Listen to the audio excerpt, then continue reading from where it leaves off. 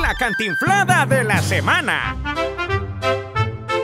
Gonzalo Rosero de Radio Democracia y su nueva faceta. Conocí al actual presidente de la República, el grosero, el atrevido. El atrevido del sábado. Para pelear soy bueno yo. Todavía no me han probado íntegramente.